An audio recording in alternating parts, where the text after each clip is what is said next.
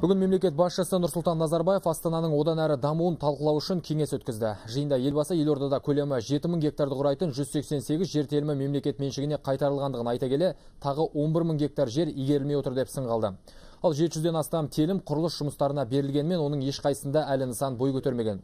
Ең сорақысы кезінде жерді арзан бағаға сатып алғандар үй тұрғызғаннан кейін пәтерлердің құнын шарықтатып жіберген.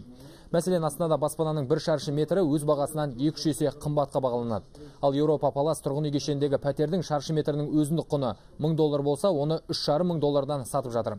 Соған қарамастан нысанды тұрғызған компания мемлекетке 1,16 миллион теңге ғана салық төлеген.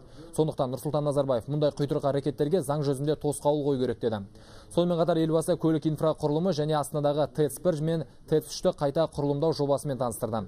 Кеңесті қорытындылай келе мемлекет басшысы қаланың дамуы мен алдағы жылу маусымына дайындық жұмыстарына қатысты бірқатар нақты тапсырмалар берді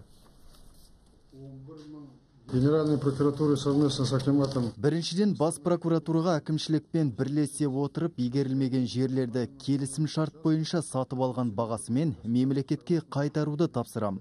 Ал ақмола облысының әкіміне елді мекендердің бас жоспарына өзгерістер енгізілгенге дейін құрылыс жұмыстарына жел терімдерін бермеуді бұйырам.